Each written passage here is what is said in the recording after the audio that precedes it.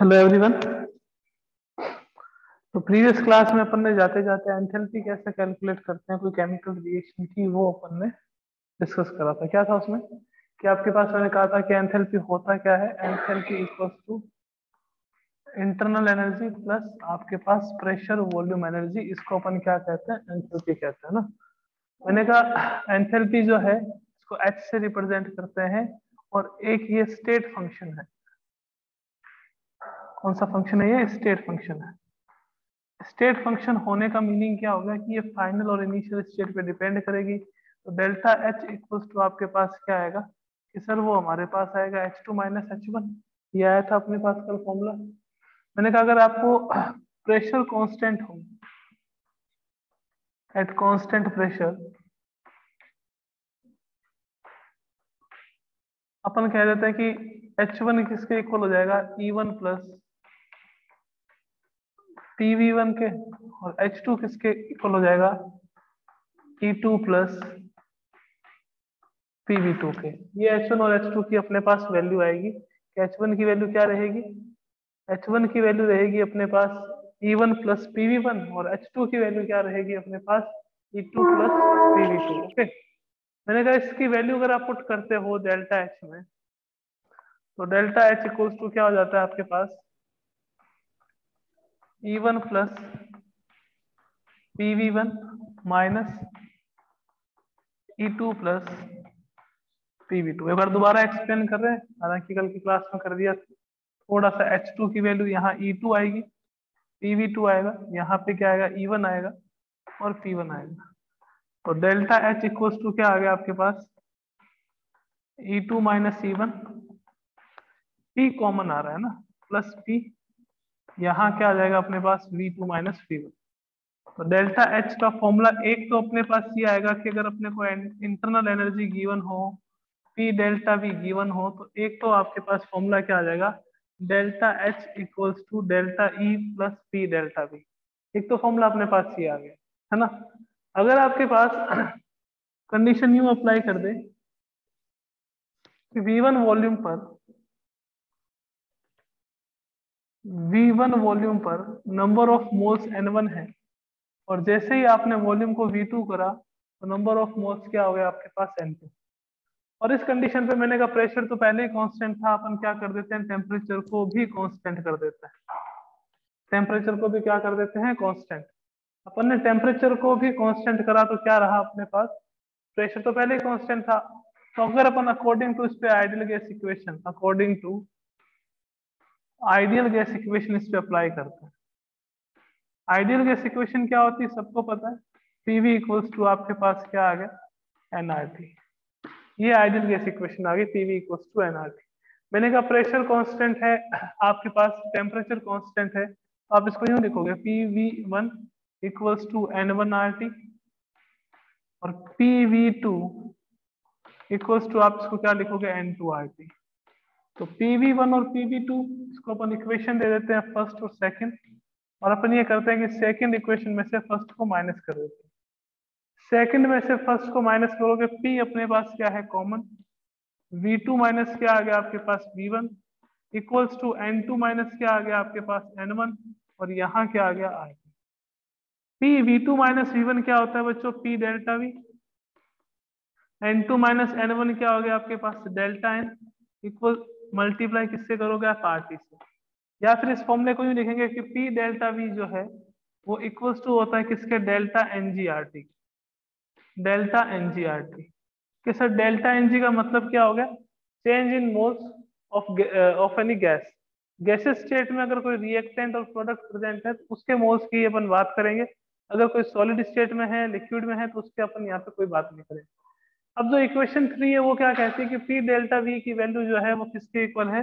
वो इक्वल है delta N G R T के।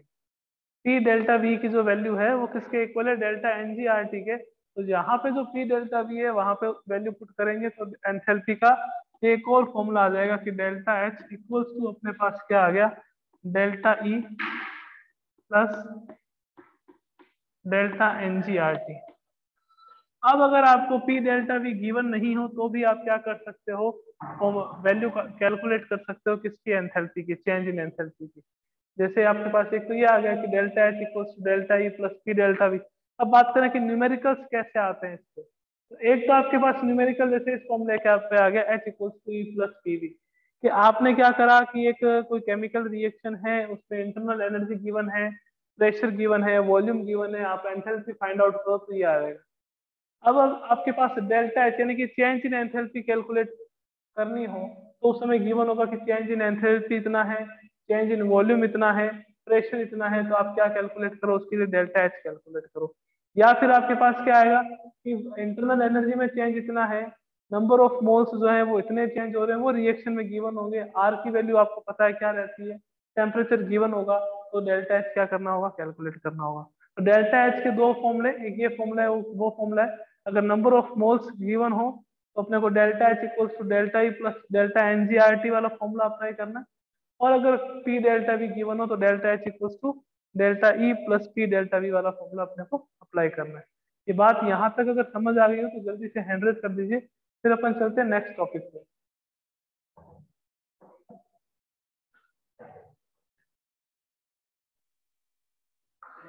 नेक्स्ट टॉपिक देख लेते हैं, क्या आता है।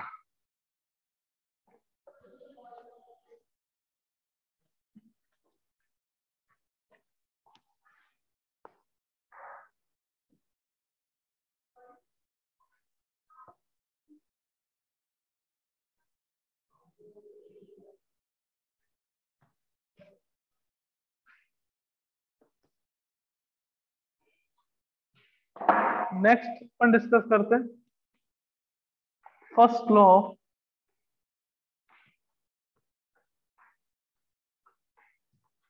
first law of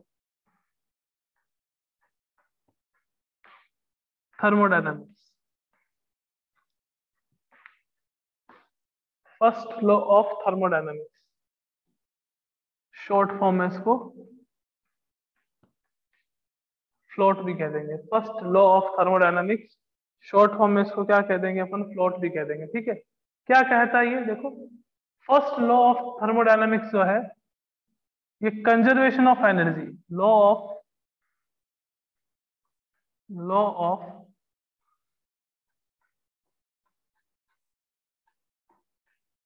conservation of energy भी law of conservation of energy means जैसे अपन ने मोल कंसेप्ट में देखा था law of conservation of mass वैसे ही आपके पास ये आता है law of conservation of energy वो क्या था? कि that mass is neither be created nor be destroyed it can change from one form to another form ऐसे कुछ था। तो यहाँ पे भी क्या आएगा कि energy is neither be created nor be destroyed, it can change from one form to another form. It is known as first law of thermodynamics या फिर law of conservation of energy कहते हैं इसको। Energy is neither be created nor be destroyed can change from one form to another form is known as law of conservation of energy और first law of thermodynamics अब बात कर लेते हैं इसके मैथमेटिकल एक्सप्रेशन की, कैसे इसको मैथमेटिकली एक्सप्रेस करते हैं अपन।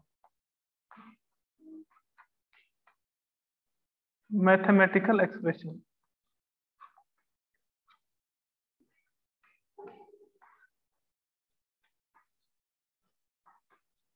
एक्सप्रेशन अपन एज्यूम करते let we assume heat of any system या फिर यूँ कर लेते internal energy internal energy of any system is even कोई सिस्टम है, उसकी इंटरनल एनर्जी की बात करें, वो आपके पास है कि इवन है ओके okay? अब क्या हुआ कि कोई सिस्टम जो है वो वर्क करता है। सिस्टम मान लीजिए कि डब्ल्यू वर्क कर रहा है। Work done by system work done by system ये अपन मान लेते हैं कि वो अपने पास कितना है। डब्ल्यू वर्क कर रहा है। और सिस्टम जो है, उसको अगर आप हीट एब्जॉर्ब कर रहा है heat absorb by system is equals to Q internal energy initial internal energy system की अपन ने एज्यूम करा कि आपके पास गिवन है सिस्टम वर्क डन कर रहा है, वो डब्ल्यू है। हीट एब्जॉर्ब जो है वो सिस्टम कर रहा है, वो क्या, कितनी है? क्यू क्यू जैसे ही सिस्टम जो है वो डब्ल्यू वर्क डन करता है और क्यू हीट को जब वो एब्जॉर्ब करता है तो एब्जॉर्ब करने के बाद में क्यू हीट को एब्जॉर्ब करने के बाद में वर्क डन करने के बाद में, इसकी जो इंटरनल एनर्जी है, वो आपके पास E1 से कितनी हो जाती है? E2 हो जाती है। E1 से कितनी हो जाती है E2 तो मैं आपको अगर ये कहूँ कि E2 की वैल्यू क्या होगी तो E2 की वैल्यू क्या रहेगी total E two equals to आपके पास क्या आएगा? ई वन आएगा प्लस क्या आएगा? क्यू प्लस आपके पास क्या आएगा? डब्ल्यू यही होगा इंटरनल एनर्जी पहले कितनी थी? इवन सिस्टम ने क्या करा? क्यू हीट को एब्जॉर्ब करा और डब्ल्यू वर्क डन करा। तो E one plus Q plus W मिलके क्या हो गया? आपके पास ई टू में कन्वर्ट हो गया। या फिर मैं ई वन का साइड अगर चेंज करूँ तो क्या लिखूँगा? E two minus E one equals to क्या लिखूँगा? क्यू प्लस डब्ल्यू ई और ई टू क्या है? फाइनल इंटरनल एनर्जी और ये इनिशियल इंटरनल एनर्जी क्यू क्या हो गया आपके पास? हीट हो गया। डब्ल्यू आपके पास क्या हो गया? वर्क हो गया। E two minus E one करेंगे तो आपके पास क्या आएगा? Delta E delta E equals to Q plus आपके पास क्या आ गया? डब्ल्यू इसको अपन क्या कहते हैं? फ़र्स्ट लॉ ऑफ़ थर्मोडायनेमिक्स का मैथमेटिकल एक्सप्रेशन कि अपन ने एज्यूम करा कि कोई अपने पास सिस्टम है। अब उस सिस्टम की कुछ ना कुछ तो एनर्जी होगी ना। पहले से ही, पहले से अगर सिस्टम में कोई मैटर प्रेजेंट है, कोई सब्सटेंस प्रेजेंट है तो उसकी पोटेंशियल एनर्जी हो सकती है, कोई गैस प्रेजेंट है, उसकी काइनेटिक एनर्जी हो सकती है, उसकी रोटेशनल हो सकती है वाइब्रेशनल हो सकती है। तो मैंने कहा कि जब सिस्टम को ना तो आपने हीट दी, ना आपने कुछ छोड़ दिया, ना आपने टेम्परेचर दिया तो उसकी जो इंटरनल एनर्जी है वो आपके पास कितनी है? इवन है। अब जैसे ही अपन ने क्या करा सिस्टम को हीट प्रोवाइड करवाना स्टार्ट करा। हीट अपन ने प्रोवाइड करवाई। जैसे ही हीट प्रोवाइड करवाते हैं तो मान लेते हैं कि सिस्टम की जो एनर्जी पहले इवन थी, अब वो इवन से कितना हो गया? आपके पास ई टू हो गया। तो सिस्टम ने क्या करा? हीट को एब्जॉर्ब करा। हीट को एब्जॉर्ब करके कुछ ना कुछ वर्क करेगा कि अगर आपके पास कोई गैसेस हैं, एक बंद कंटेनर में गैसेस हैं, वो ही पहले ही पड़ी है। उसको आपने उसके काइनेटिक एनर्जी भी नहीं दी पर जैसे ही अगर आप उसको हीट दोगे, उसका टेम्परेचर इंक्रीज करोगे तो टेम्परेचर इंक्रीज करते ही गैसेस के मॉलिक्यूल्स इधर, उधर इधर, उधर क्या करेंगे? भागेंगे। बिकॉज़ आपने क्या करा, जैसे ही हीट की उसकी काइनेटिक एनर्जी क्या होगी? इंक्रीज तो कुछ ना कुछ वर्क करेगा। तो वर्क करेंगे तो उसकी जो एनर्जी है, वो क्या होगी? इंक्रीज होगी। मीन जो पहले एनर्जी इवन थी, वो इवन से क्या हो जाएगी? ई टू हो जाएगी। तो इस ई की वैल्यू कितनी रहेगी अपने पास? That E two equals to E one plus two plus W तो E two minus E one E one को अगर अपन साइड चेंज करते हैं E two minus one equals to क्या Q plus W E two minus one को क्या कहेंगे अपन? डेल्टा ई डेल्टा क्या होगा क्यू प्लस डब्ल्यू ये फ़र्स्ट लॉ ऑफ़ थर्मोडायनेमिक्स का क्या आता है? मैथमेटिकल एक्सप्रेशन आता है। अब क्वेश्चंस बहुत टाइप के आते हैं इससे कैसे? कि सिंपल सा बात है। कि सिस्टम इतना अगर हीट एब्जॉर्ब करता है, इतना अगर वर्क करता है तो आप change in internal energy find out करो। चेंज इन इंटरनल एनर्जी इतना है, ये आपके पास क्या है? इतनी हीट एब्जॉर्ब करता है तो वर्क डन फाइंड आउट करो। कुछ साइन कन्वर्जन भी अपने को सीखना है ना? अगर आपने देखा होगा कि फिजिक्स में जब आपने थर्मोडाइनमिक्स करा तो आपने एक बात देखी होगी कि वर्क डन बाय सिस्टम शायद पॉजिटिव रहता होगा और ऑन सिस्टम नेगेटिव रहता होगा। यहाँ आपने थोड़ा सा उल्टा है कि अगर सिस्टम खुद वर्क करेगा तो डब्ल्यू की वैल्यू नेगेटिव में रहेगी। और सिस्टम पर अगर वर्क किया जाएगा तो डब्ल्यू की वैल्यू क्या रहेगी? पॉजिटिव सिस्टम अगर हीट को एब्जॉर्ब करता है तो क्यू की वैल्यू यानी कि हीट की वैल्यू आपके पास क्या रहेगी? पॉजिटिव अगर हीट को एमिट करता है इवॉल्व करता है तो उसकी वैल्यू आपके पास क्या आ जाएगी? नेगेटिव आ जाएगी। तो ये साइन कन्वर्जन ध्यान में रखने होंगे because numerical point of view से काफ़ी ज़्यादा इंपॉर्टेंट होते हैं तो फॉर्मुला क्या आया? फ़र्स्ट लॉ ऑफ़ थर्मोडायनेमिक्स के according delta E equals to Q plus W यहाँ तक अगर किसी को कोई डाउट नहीं है तो एक बार जल्दी से हैंड रेस कर दीजिए, फिर अपन चलते हैं नेक्स्ट टॉपिक पे। यहाँ तक अगर डाउट नहीं है delta E equals to Q plus W तक जल्दी से हैंड रेस कर दीजिए बच्चों, फिर चलते हैं नेक्स्ट टॉपिक पे।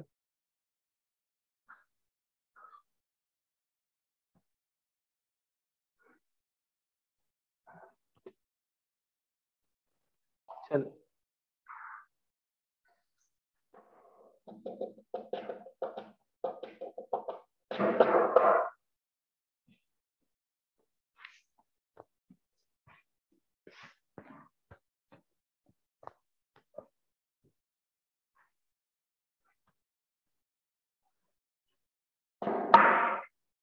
तो ये इक्वेशन है किसकी है? फ़र्स्ट लॉ ऑफ़ थर्मोडायनामिक्स की। कौन सी है? Delta E equals to Q plus W ये अपने को दिमाग में रखनी है कि इसकी इक्वेशन है। नेक्स्ट देखें अब नेक्स्ट क्या आता है? Application of application of first law of thermodynamics. Float. है ना फ्लोट मीन्स क्या हो गया? First law of thermodynamics float मतलब क्या हो जाएगा? सेकंड लॉ ऑफ़ थर्मोडायनामिक्स तो अपन चेक करते हैं क्या एप्लीकेशन है इसकी। अपन ने, आपको अगर याद हो, शायद कल ही खत्म कर रहे थे, कल ही टॉपिक खत्म हुआ था अपना या उससे पहले, कि थर्मोडायनामिक प्रोसेस के बारे में बात कर रहे थे ना, कि थर्मोडायनामिक प्रोसेस क्या होता है और प्रोसेस जो है वो कितने टाइप के होते हैं। Means isothermal adiabatic isochoric isobaric ये सारे आपने प्रोसेस के बारे में अपन ने स्टडी करी थी ना, कि कौन कौन से प्रोसेस होते हैं। तो आइए अपन एक एक प्रोसेस पे ये फ़र्स्ट लॉ ऑफ़ थर्मोडायनामिक की इक्वेशन लगा के देखते हैं। अगर आइसोथर्मल प्रोसेस है तो आपके पास क्या रहेगा? आइसोबारिक है तो क्या रहेगा? एडियाबेटिक है तो क्या रहेगा? आइसोकोरिक है तो क्या रहेगा? इन सब के बारे में अपन क्या करेंगे? अभी डिस्कस करेंगे। जैसे मैंने कहा कि अगर आपके पास आइसोथर्मल प्रोसेस हो आइसोथर्मल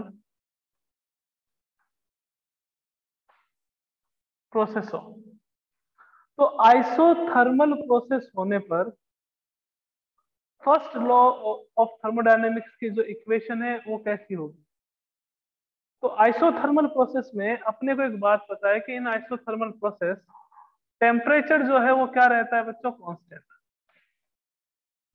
टेम्परेचर क्या रहता है? कांस्टेंट यानी कि टी वन और टी टू की वैल्यू क्या रहती है? इक्वल रहती है सेम रहती है। सर एकदम रहती है। मैंने कहा तो फिर डेल्टा टी क्या रहेगा आपके पास? कैसा डेल्टा टी की वैल्यू ज़ीरो रहेगी। क्यों? बिकॉज़ डेल्टा टी का फॉर्मूला क्या होता है? T two minus T one ही तो होता है फाइनल माइनस इनिशियल अब टी टू और टी वन एक दूसरे के बराबर हैं इक्वल हैं तो डेल्टा टी की वैल्यू क्या रहेगी? डेल्टा टी की वैल्यू तो ज़ीरो ही रहेगी ना? नहीं रहेगी क्या? डेल्टा टी की वैल्यू क्या रहेगी ज़ीरो अब मैंने आपको एक बात बताई थी, अगर आपको पता हो नहीं तो अपन तो यहाँ दोबारा बताएँगे आपको कि डेल्टा ई e का मैंने एक फॉर्मूला बताया था मैंने कहा ये वापस अपन डिस्कस भी करेंगे, आगे आएगा तो n C V delta T बताया था, नहीं बताया था कुछ? तो मैं कह रहा हूँ बताया था तो आप एक बार हाँ कह दीजिए कि सर हाँ बताया था ना। वहाँ पे एन क्या था देखो? एन था नंबर ऑफ़ मोल्स सीवी क्या होता है? ये अपने टॉपिक आएगा आगे। CV specific heat at constant volume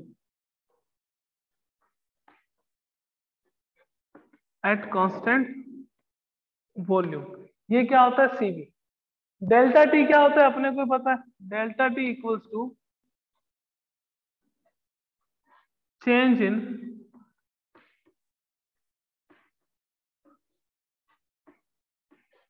temperature और एन क्या होता है? अपने को पता है?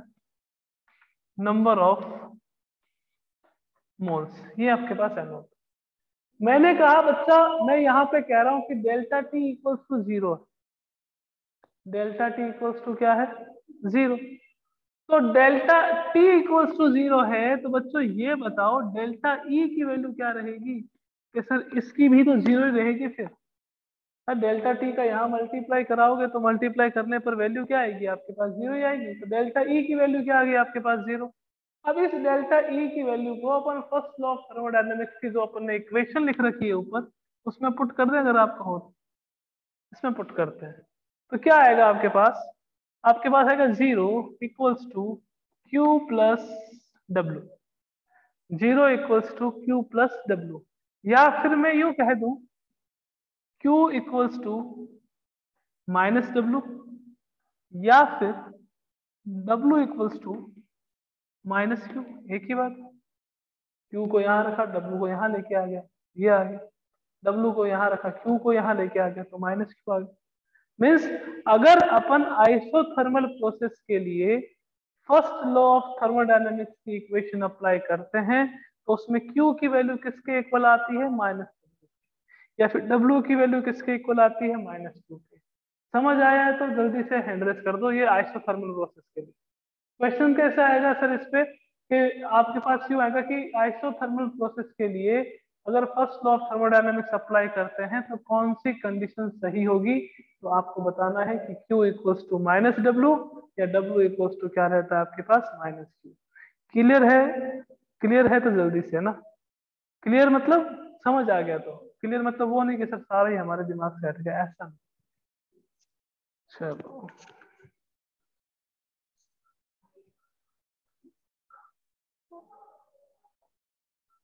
ये तो हो गया आपके पास आइसोथर्मल प्रोसेस के लिए। अब हर एक प्रोसेस में देखना है अपने को कि आइसोथर्मल वाला देख लिया कि आइसोथर्मल के लिए Q equal to minus W रहेगा W equal to minus Q रहेगा, है ना?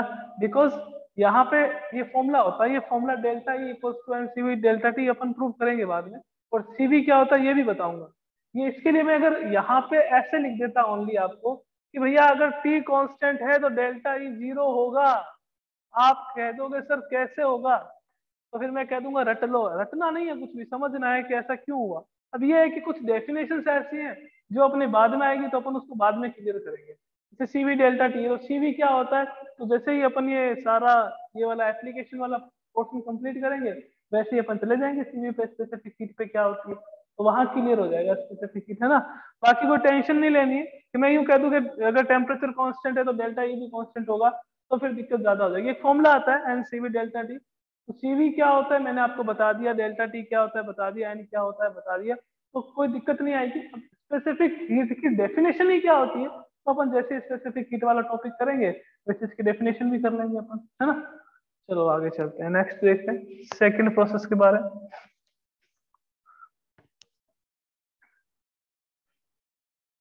सेकेंड प्रोसेस अपने पास कौन सा था? एडियाबेटिक प्रोसेस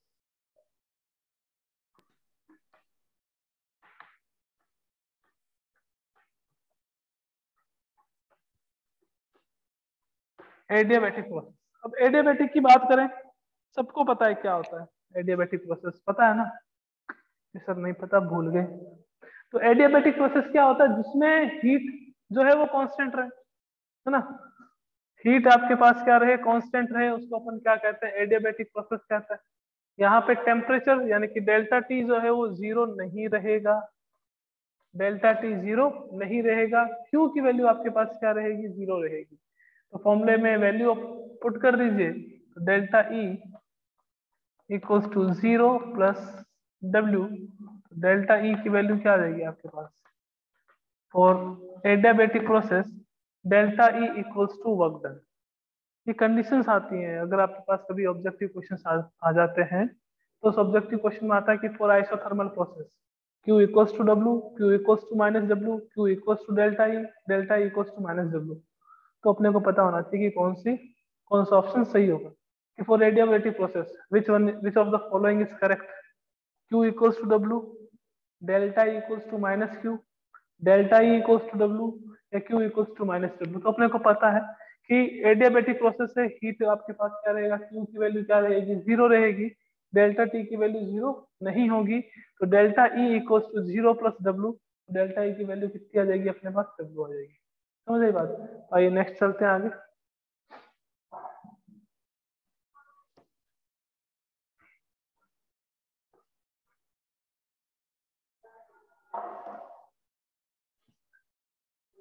थर्ड प्रोसेस आती है अपने पास एडियाबेटिक के बाद। आइसोकोरिक प्रोसेस आइसोकोरिक प्रोसेस क्या होती है आइसोकोरिक प्रोसेस आइसोकोरिक प्रोसेस का मीनिंग क्या हो गया? कि वो थर्मोडायनेमिक प्रोसेस जो कंप्लीट होती है कब? जब आपके पास वॉल्यूम कांस्टेंट रहता है। वो थर्मोडायनेमिक प्रोसेस जो कंप्लीट होती है कहाँ पे? कांस्टेंट वॉल्यूम पे कंप्लीट होती है। उसको अपन क्या कहते हैं? आइसोकोरिक प्रोसेस कहते हैं। मीन्स आइसोकोरिक प्रोसेस के लिए V1 की वैल्यू किसके इक्वल होती है? बेटा जी V2 के इक्वल होती है। और डेल्टा वी क्या होता है अपने पास? Delta V equal to V two minus V one अब ये दोनों इक्वल है तो क्या रहेगा? ज़ीरो सर एक बात बताओ। जो आपने थर्मोडाइनमिक इक्वेशन लिखी है फ़र्स्ट लॉ की, delta E equals to Q plus W तो यहाँ पे तो सर कहीं पे भी डेल्टा वी तो आ ही नहीं रहा है तो आप क्यों डेल्टा वी की वैल्यू ज़ीरो करके हम क्या करें? तो देखो बच्चा, डेल्टा वी यहाँ पे तो नहीं आ रहा। क्यू प्लस डब्ल्यू में तो नहीं आ रहा। पर अपन वर्क डन का जब फॉर्मूला प्रूव करते हैं तो W की वैल्यू जो है वो अपने पास आती है माइनस पी डेल्टा बी अगर एक्सपेंशन वर्क है तो।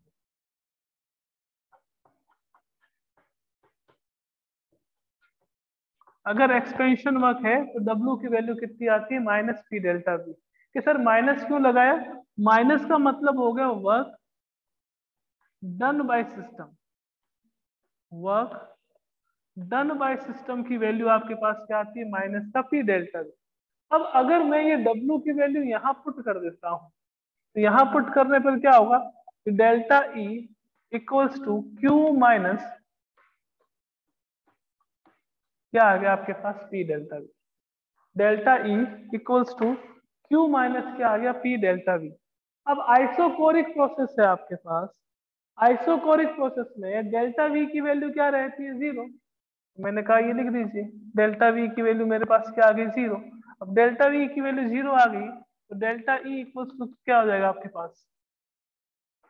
क्यू डेल्टा ई की वैल्यू क्या आ जाएगी आपके पास? क्यू के इक्वल रहेगी, यानी कि हीट के इक्वल दोबारा एक्सप्लेन कर देते हैं।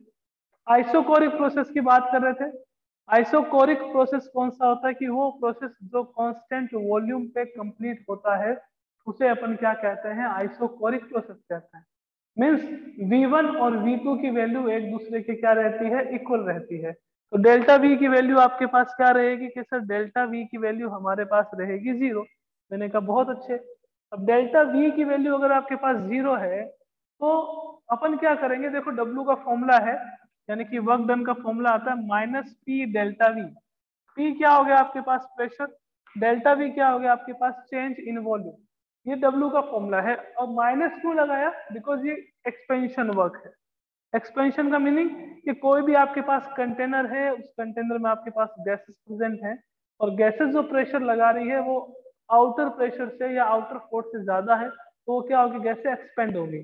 उसको कहते हैं एक्सपेंशन वर्क तो वो वर्क कौन होता है कि गैसे खुद कर रही है तो उसको अपन क्या कहते हैं?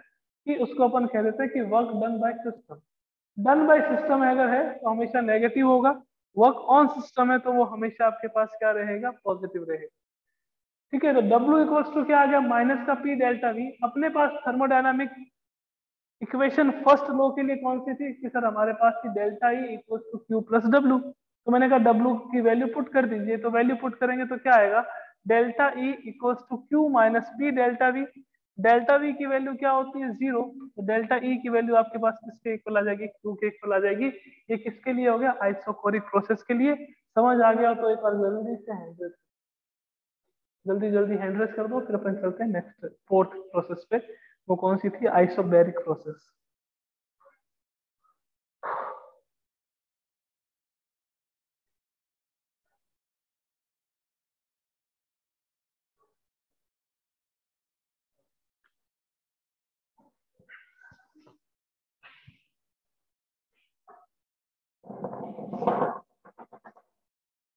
नेक्स्ट आता है अपने पास आइसोबेरिक प्रोसेस या आइसोबारिक प्रोसेस देख लेते हैं उसमें भी क्या रहता है।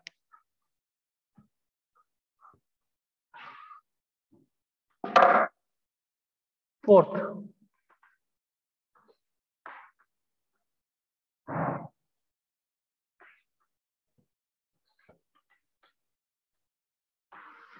आइसोबारिक प्रोसेस अब अपने को पता है इसमें क्या रहता है?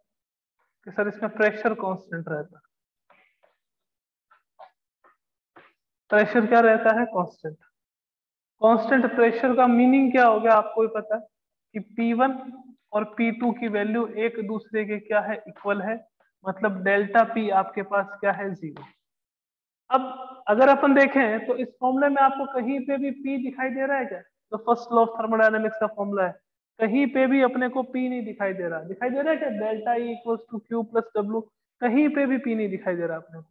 बट अपने को ये बात ज़रूर पता है कि W जो है, वो वर्क डन बाय सिस्टम है। उसका फॉर्मूला कितना होगा? माइनस पी डेल्टा वी तो इस इक्वेशन को, यानी कि जो W की वैल्यू है, वो इस इक्वेशन में पुट करेंगे तो पुट करने पर क्या आएगा? Delta E equals to Q minus P delta V ये आ गया आपके पास अब डेल्टा पी ज़ीरो होता है। पी तो ज़ीरो नहीं है ना। डेल्टा पी ज़ीरो है। यहाँ पे क्या आ रहा है? पी आ रहा है। तो फ़र्स्ट लॉ ऑफ़ थर्मोडायनामिक्स क्या रहेगी? आइसोबेरिक प्रोसेस के लिए delta E equals to Q minus P delta V देखो कोर फरमाना पी कांस्टेंट है, कोई दिक्कत नहीं, हम कांस्टेंट ही रख रहे हैं। पी डेल्टा पी ज़ीरो है, पर डेल्टा पी को अपने पास फॉर्मूले में भी कहीं नहीं आ रहा। फॉर्मूले में नहीं आ रहा तो क्यों अप्लाई करना है? प्रेशर कांस्टेंट है कांस्टेंट रख दो। डेल्टा ई की वैल्यू क्या आ जाएगी? Q minus T delta V तो ये भी एक डेल्टा ई का फॉर्मूला आ गया। है ना? डेल्टा ई का फॉर्मूला आ गया। अब कल की क्लास में अपन 110 परसेंट क्या करेंगे? इस पे न्यूमेरिकल्स करेंगे। किस पे? एंथैल्पी पे न्यूमेरिकल्स करेंगे। फ़र्स्ट लॉ ऑफ़ थर्मोडायनेमिक्स पे न्यूमेरिकल्स करेंगे। और उसके बाद अपन देखेंगे कि वर्क का फॉर्मूला कैसे कैलकुलेट करते हैं और उसके साथ साथ हीट कैपेसिटी क्या होती है, उसके बारे में भी अपन डिस्कस करेंगे। ओके बच्चों? तो मिलते हैं कल की क्लास में। Thank you so much